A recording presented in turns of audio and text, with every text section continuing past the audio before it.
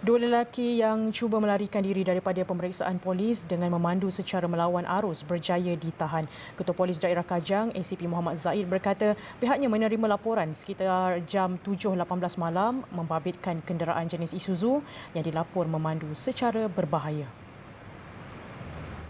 Terdahulu dalam video yang tular berlaku insiden kejar-mengejar sejauh 300 meter di lebuh raya Kajang Silk sehingga kenderaan yang dipandu suspek melanggar beberapa buah kenderaan. Ketua Polis Daerah Kajang SCP Muhammad Zaid berkata hasil pemeriksaan di kenderaan suspek menemukan beberapa peralatan yang disyaki untuk kegunaan jenayah pecah rumah dan curi kabel. Kedua-dua suspek positif dadah jenis metafetamin selain masing-masing didapati mempunyai 20 dan 4 rekod lampau melibatkan kes jenayah dan narkotik. Mereka ditahan reman sehingga 17 Julai bagi membantu siasatan.